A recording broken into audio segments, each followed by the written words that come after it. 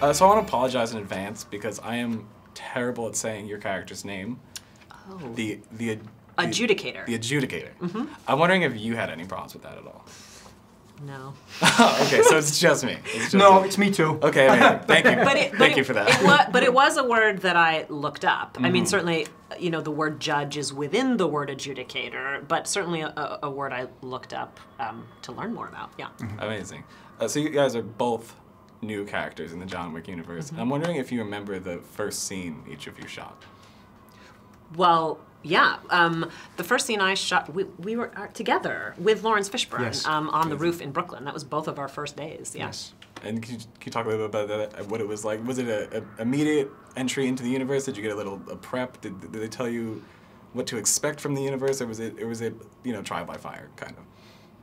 Oh, gosh. I mean, uh, for myself, you know, it was immediately a warm welcome into the John Wick family from not only um, everyone at Lionsgate, but from Chad and Keanu, who are really, you know, leading the way on this film. And so I had already had conversations with Chad about the world and about the character. You know, I'd spoken to Keanu, and so it really felt like, um, you know, one of the things that producers and directors are counting on is that you're going to show up um, prepared and with um, having made choices, but also um, being flexible enough to take direction and you know try new things. And so.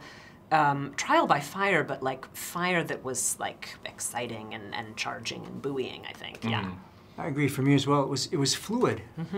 You know, and, and Yeah. and having seen John Wick one and two, you kind of knew what you were getting into. There was Yeah. enough history there, and then talking with Chad and and uh, you know having having our characters on the page, you can kind of just step into it. Yeah. Mm-hmm. Yeah.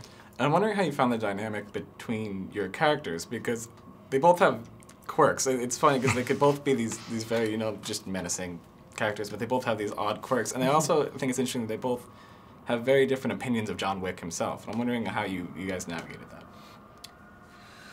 Well, I mean, certainly one of the fun things about working with Mark is the dynamic between Zero and the Adjudicator. You know, they certainly have a long history together, which we know about and we discussed with Chad, and some of that comes out in the third film. Um, and I think that it is because both Zero and the Adjudicator enjoy what they do that there is that element of sort of quirkiness and humor. I think one trope is like a villain um, who is only a villain, you know, and they are only menacing, and that's very one-dimensional. And so I think the opportunity to play multi-dimensional villains, so to speak, um, just added a layer of like fun to to playing the characters, which I think on screen is hopefully conveyed. Yeah. And I, I love the dynamic that the, the the opening scene we have together because it's something for something.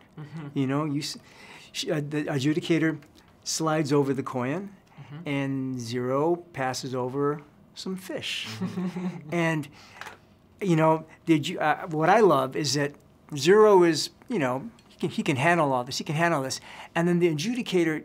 It's not that they ate the fish. It's with how they did it, mm-hmm. the confidence, and just bam.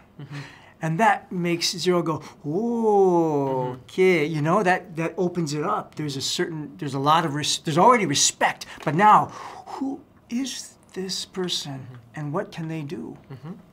You know? And a lovely nod to Iron Chef as well. Hi! Amazing. I cannot ask a question after that. Thank you. Uh, thank you so much for talking to me. and uh, you. this movie was is insane in all the best ways possible. Thank you so much. Thank you.